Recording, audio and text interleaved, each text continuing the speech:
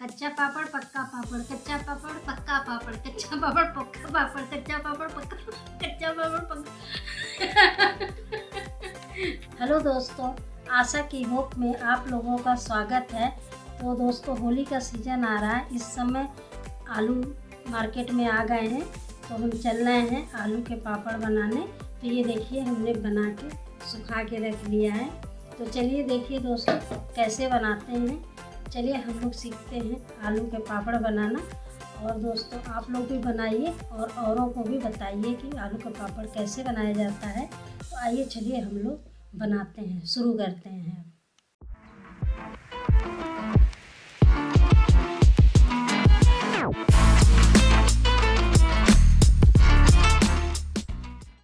देखिए दोस्तों, ये पाँच किलो का कुकर है, देख लीजिए। इसमें मैं डाल रही हूँ ढाई किलो आलू। ढाई किलो में मैं डालूँगी एक कटोरे पानी, एक दिन बस। इसमें मैं ज़्यादा पानी नहीं डालूँगी, क्योंकि लोग ज़्यादा डालते हैं ना, इतने में ही ये उबल जाएगा। अब चलना इसको हम गैस पे रखेंगे देखिए, मेरा आलू उबल चुका है। दो सीटी दिया, दो सीटी में आलू उबल चुका देखिए अब इसको हम छान लेंगे। ये देखिए, ये नीचे कढ़ाई रखे हैं, ऊपर ही।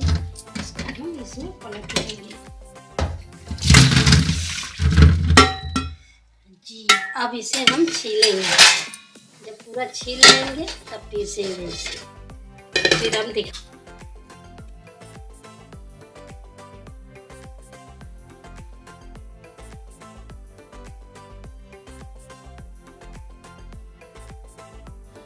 देखिए दोस्तों, ये आलू में छील ले रही हूँ। छील के अभी थोड़ा सा आलू ताज़ा है ना, नया सीज़न का, इसलिए थोड़े छिलके निकालने में थोड़ा छोटे छोटे करके छिलके निकलेंगे। तो मैं आलू अपना छीलूँगी तब इसके पूरा आलू छीलने के बाद मैं दिखाऊँगी।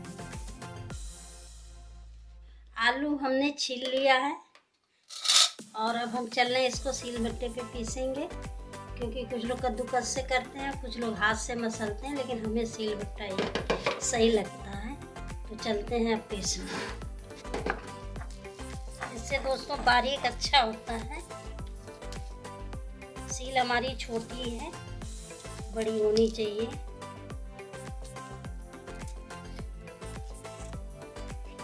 इसमें जो है, इससे लहसुन बहुत अच्छा आता है। इसको हम ऐसे करके पूरा पीस लेंगे।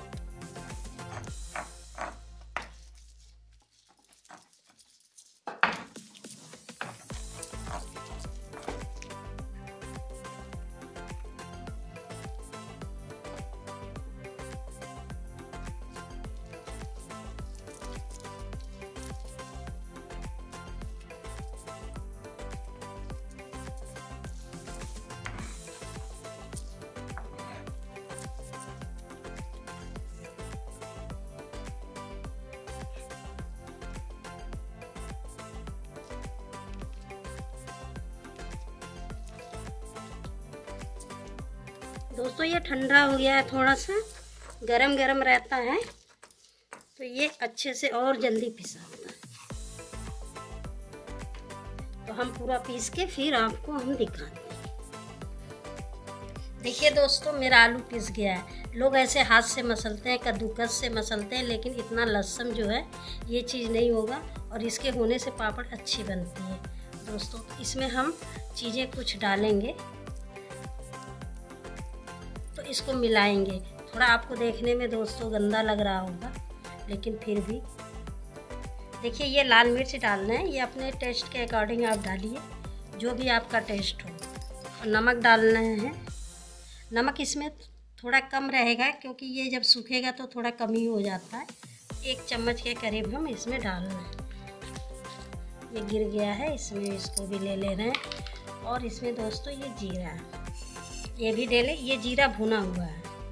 ये भून के हम इसमें, अब इसको मिलाएँगे। मिलाने में भी मेहनत है दोस्तों, पीसने में भी मेहनत है, क्योंकि मिलाने में जल्दी ये मिलेगा नहीं, क्योंकि हाथ में ये चिपक रहा है। तो दोस्तों, इसमें आप लोग हल्दी भी डाल सकते हैं।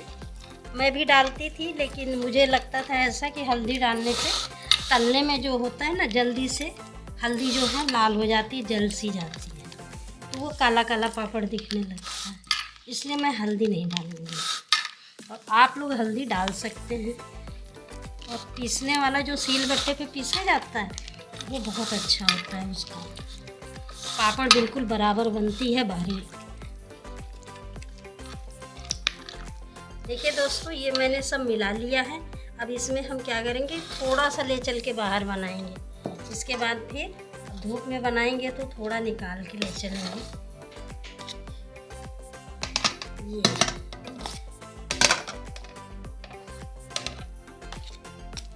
फिर घटेगा तो फिर आके ले जाऊँगी इसमें से।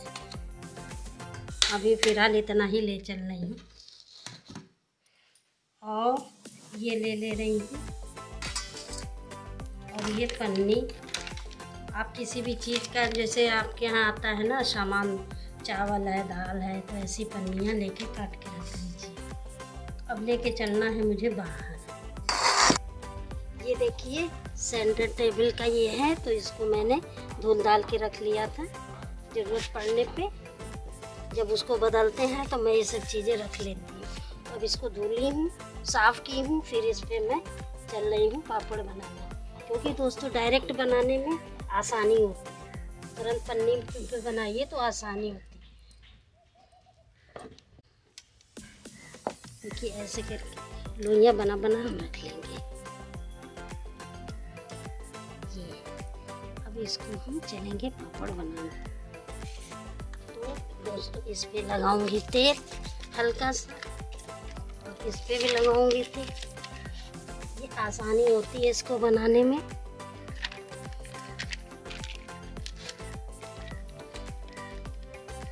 क्योंकि फिर इसको लटना पलटना नहीं पड़ता।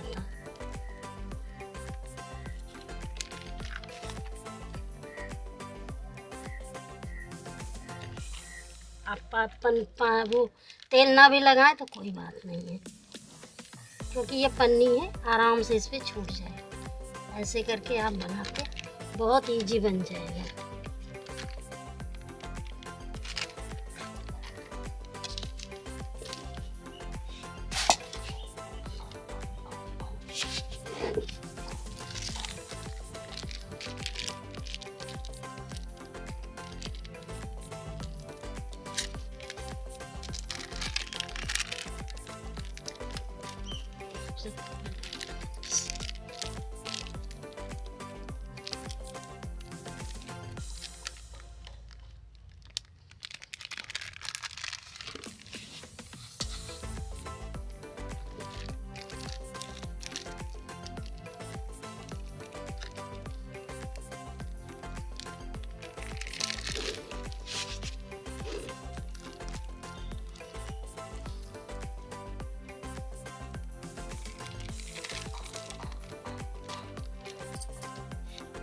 देखिए दोस्तों, हम पापड़ बना लिए ये बन चुका है। अभी और बनाएँगे अब कपड़े पे डालेंगे। इसको धूप छाँव के कहीं भी बना सकते हैं। रात में बना के पंखा खोल दीजिए। आराम से सूख जाता है। इस पापड़ में कोई दिक्कत नहीं आती है। करो खड़े खड़े।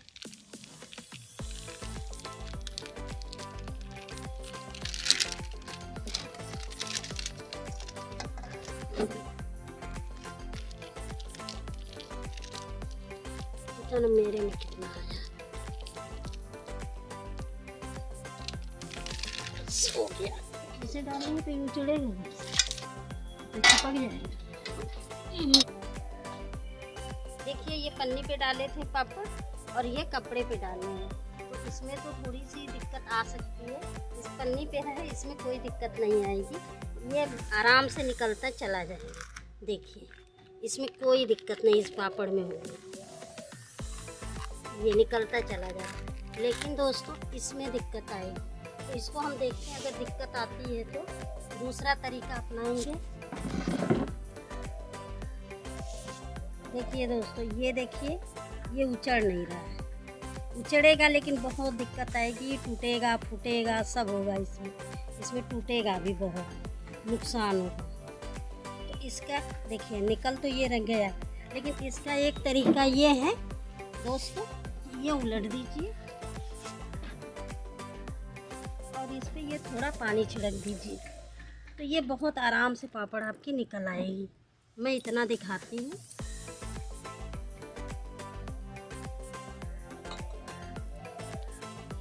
अब इसमें दिक्कत नहीं आनी चाहिए, क्योंकि ये पापड़ आराम से निकल जाएगी। देखिए, बहुत आराम से उचड़ जाएगी, ये देखिए। इस तरह करके सारी पापड़ें आपकी निकल जाएँगे ये देखिए ये एक टिप्स है दोस्तों, कि आराम से पापड़ निकालने का तरीका यही है। जिधर फूलेगा, पानी जाएगा, उधर आराम से निकल आएगा और जिधर पानी नहीं जाएगा, उसको फुलाना पड़ेगा, इसको फुलाना पड़ेगा। इसको देखते हैं। देखिए। जो नीचे से भीग गया है, वो बहुत आराम से निकल रहा है। जो नीचे से नहीं भीगा, उसमें फिर से पानी डालना पड़ेगा। तो इस तरह से हम सारी पापड़ों को निकाल लेंगे। देखिए दोस्तों, हमारी जो है पापड़ कल सूखी नहीं थी, धूप नहीं निकली थी। आज देखिए धूप निकली है। देखिए कितना तेज बज रही है। सूख गई है। ये एकदम कड़कड़ारी सूख गई। अब इसको हम उठाने चल रहे फिर तल के इसको दिखा, तल के हम लोग खाएँगे। दोस्तों, आप भी आइएगा खाने को देखिए दोस्तों, इसको पूरा टाइट नहीं करेंगे, देरी तक नहीं भूलेंगे, इसको मुलायम ही निकाल लेंगे क्योंकि ये निकलने के बाद फिर अपने आप को पूरा हो जाता है क्रिस्पी में। तो हम इसी तरह इसको निकाल लेंगे दोस्तों, पापड़ को ज़्यादा ये वाइट ही रहने दें, तभी निकाल लें क्योंकि फिर ये ठंडा होने के बाद थोड़ा सा अपने आप लाल हो जाता है, क्योंकि खुद पकता है थोड़ा सा। अब मैं तल चुकी हूँ, गैस बंद कर दे रही हूँ। देखिए ये मेरी पापड़ तैयार है। खाने लायक है दोस्तों। ये देखिए।